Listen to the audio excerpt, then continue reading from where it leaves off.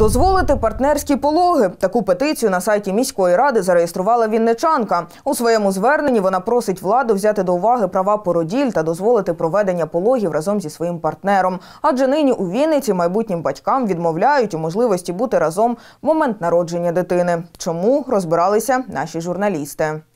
Молода подружня пара Ірина та Олексій майбутні батьки. Вже за декілька тижнів Ірина вперше стане мамою, а Олексій татом. Сім'я розповідає, відколи дізналася про вагітність, одразу вирішили, що в день народження свого малюка мають бути разом.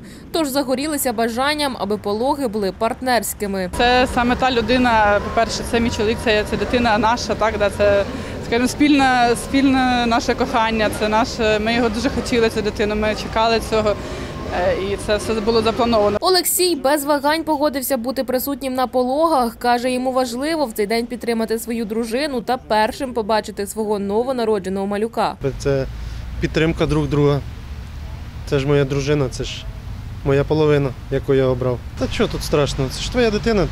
Вона повинна дитина якби першого побачити батька і свою мати. У плани молодої сім'ї втрутився карантин. Через велику кількість випадків захворювання на коронавірус у Вінниці партнерські пологи стали під забороною.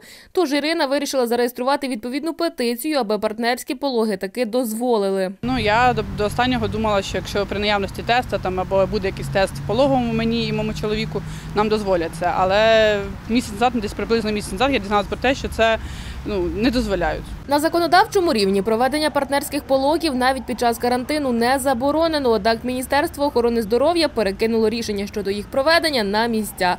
Відповідно, уся відповідальність лягає на плечі місцевих лікарень. Наш відсоток до ковіду партнерських пологів складав майже 100%. 96-98% це були партнерські або партнерські пологи.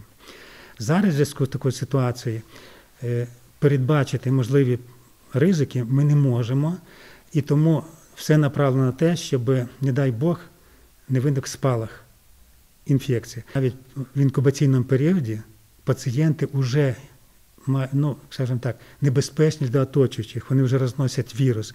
Лікарі ж кажуть, вони не проти проведення пологів за присутності партнера. Однак нині, навіть з наявністю негативного тесту на COVID-19, лікарі не можуть гарантувати безпеку як породіллям, так і медичному персоналу, адже у пологових Вінниці немає належних для цього умов. Ні Міністерство охорони здоров'я, ні у нас нема строгої заборони. Але для того, щоб провести партнерські пологи, мають бути певні умови. Скажімо так, якби наші пологи допоміжні заклади мали умови, які, якого плану, що, предположимо так, жінка з чоловіком, з партнером приходять, окремий вхід, окремий вихід. Там вони народжують в палаті, і звідти з тої палати виходять, не ходячи по коридору. От на наш, в нас на сьогоднішній день таких в нас умов немає. Тож наразі майбутнім батькам залишається лише сподіватися на пом'якшення карантину та дозволу на проведення пологів за присутності партнера. Однак, коли це станеться, нині говорити ще зарано. А поки зареєстрована петиція набрала вже третину необхідних голосів, аби потрапити на розгляд до міської ради, аби проголосувати у вінничан ще є 10 днів. Анастасія Антонюк, Ірина Гойнік. Новини Правда тут.